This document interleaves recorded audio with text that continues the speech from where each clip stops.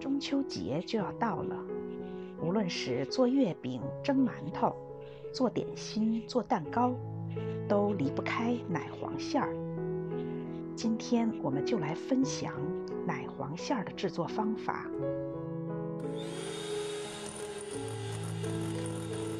先将一百克室温软化的黄油用打蛋器打散。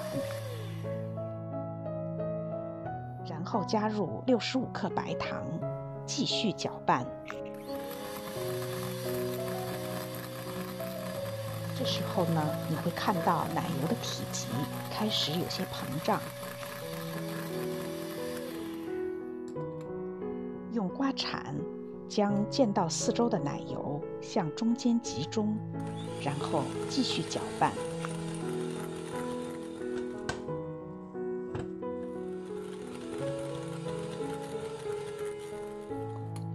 分次加入四只鸡蛋，每加入一只鸡蛋后，用打蛋器将鸡蛋和奶油搅拌至充分融合。第二只鸡蛋，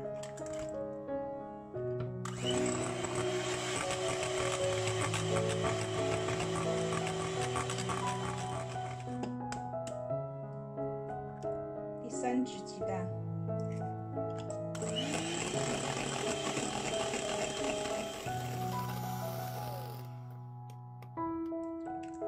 四只鸡蛋，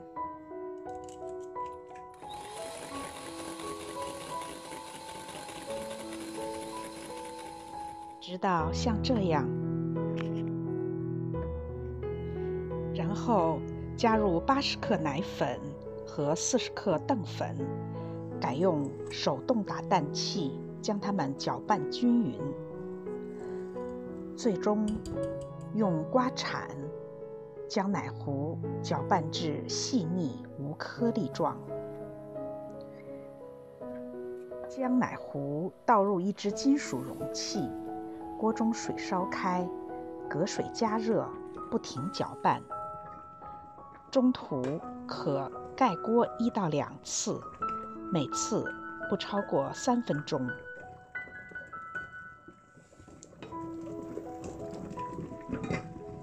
要像这样不断刮起容器壁上已经煮熟的奶糊，搅拌至奶糊成型，最终不沾刮铲，转成中小火。瞧，香喷喷的奶黄馅已经做好了。待自然冷却后，可以做成纯奶黄馅。豆沙包奶黄馅，还可以加入开袋即食的板栗，做成好吃的奶黄板栗馅。赶紧试试吧！欢迎订阅分享，感谢您的收看，让我们下期再见。